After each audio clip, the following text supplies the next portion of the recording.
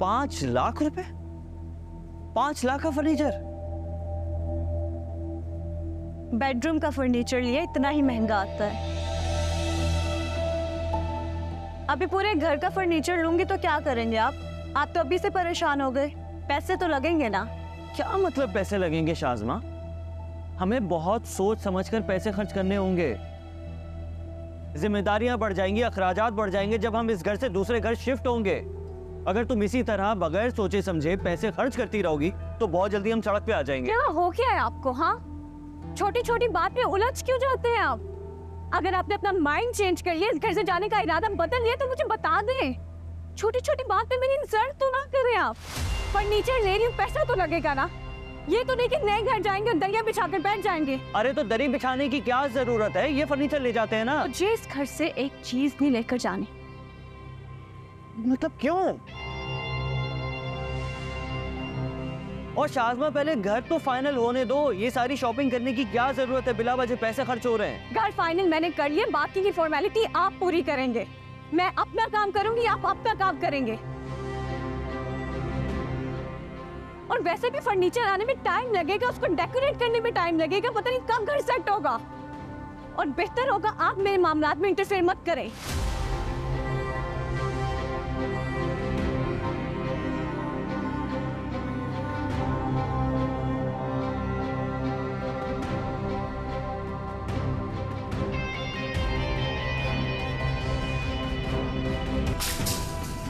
ये क्या है। यही तो मैं तुमसे पूछने आई हूँ कि ये क्या हरकत है।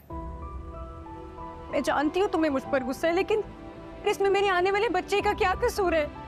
उस पर अपना गुस्सा क्यों निकाल रही हो तुम? भाभी, आप ये क्या कह रही हैं? आप होश में तो हैं? मैं तो होश में हूँ। लगता है तुम अपने हवास को बैठी हो। तभी तुम मेरे बच्चे के लिए इतनी नफरत दिखा रही हो। जो सिर्फ़ मेरा नहीं, तुम्हारे भाई की भी औलाद है। क्या हुआ, अमरीन? व्हाट्स रॉन्ग ये तो आप अपनी बहन से पूछे। व्हाट्स रॉन्ग विद हर क्यों पड़ी है मेरे पीछे ये? इतने दिनों से इसका एरोगेंट बिहेवियर बर्दाश्त कर रही हूँ मैं। मगर इसने मेरी बर्दाश्त का गलत मतलब निकाला है। ये देखें, जिस पार्सल की वजह से मैं परेशान थी, इसके बेड के नीचे से मिला है मुझे। और देखिए इसने क्या हशर किया है मेरी चीज़ों का।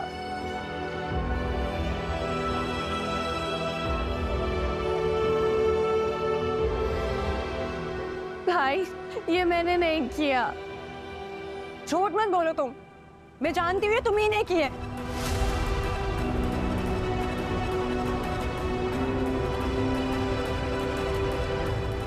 क्या बिगाड़ा मेरे बच्चे ने तुम्हारा? तुम इतनी नफरत करती हो उस नन्ही थी जान से। भाभी, मेरी बात का यकीन करे, मैंने नहीं किया, ये मुझे नहीं पता, ये मेरे कमरे में कैसे आया?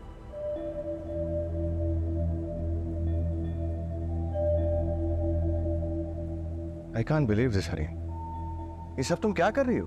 भाई, मेरी बात का यकीन करें, मैंने नहीं किया ये सब कुछ। मैंने तो हमेशा तुम्हें अपनी छोटी बहन की तरह समझे। और तुम मुझे ये सिला दे रही हो मेरे प्यार का। भाभी आप आप प्लीज़ सब्र करें, आपकी तबीयत खराब हो जाएगी। आप इस तरह से खुद को क्यों इतना परेशान कर रहे हैं? मैं पानी लाती हूँ आपके लिए हाँ?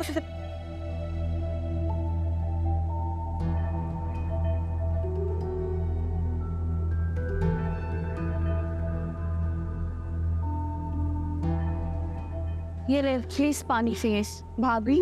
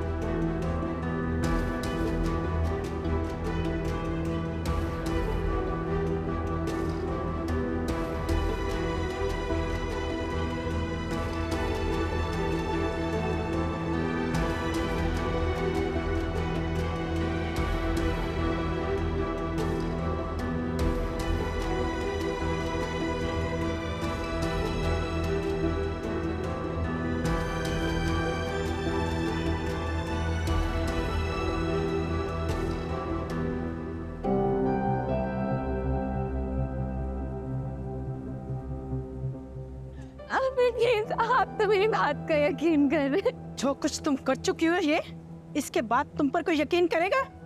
तुमने मुझे बहुत शर्मिंदा करवाया हरीम बहुत ज़्यादा। प्लीज़ प्लीज़ आप मेरी बात तो सुन ले आप मुझ पे यकीन कर ले प्लीज़ दफ़ा हो जाओ।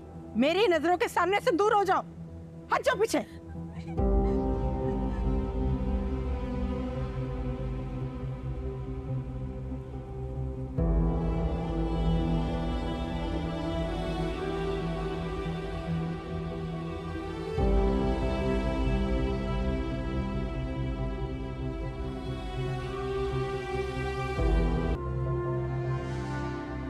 कैसी तबीयत है?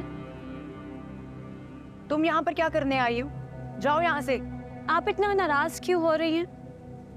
नुकसान तो आपको हरीम ने पहुँचाया मैंने थोड़ी। नाराज़ तो आपको उससे होना चाहिए। वैसे मुझे बहुत अफसोस हुआ। आपने हरीम को इतनी इज़्ज़त दी इतना प्यार दिया हमेशा उसकी हर बात मानी। लेकिन उसने फिर भी आपको नुकसान पहुंचाना चाहा? और स्पेशली इस बच्चे को जो अभी तक इस दुनिया में आया ही नहीं। दुख है वैसे मुझे। खाला ने उसकी बहुत ही बुरी तरबियत की है। तुम्हें सुनाई नहीं दे रहा कि मुझे तुमसे कोई बात नहीं करनी? जाओ यहाँ से। क्या हो गया? रिलैक्स करें। मैं तो बस ये देखने आई थी कि आपने नाश्ता खत्म किया कि नहीं।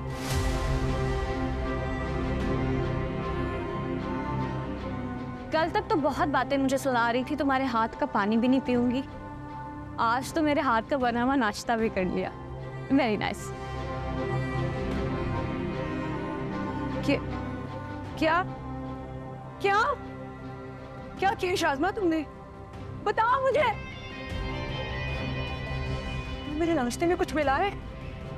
बताओ मुझे कुछ पूछ रही हूँ मैं तुमसे। बताओ क्या मिला है मेरे नाश्ते में मैक्स भाभी बताती हूँ। वैसे मुझे बताने की क्या ज़रूरत है? थोड़ी देर में आपको खुद ही पता चल जाएगा। एंजॉय शाजमा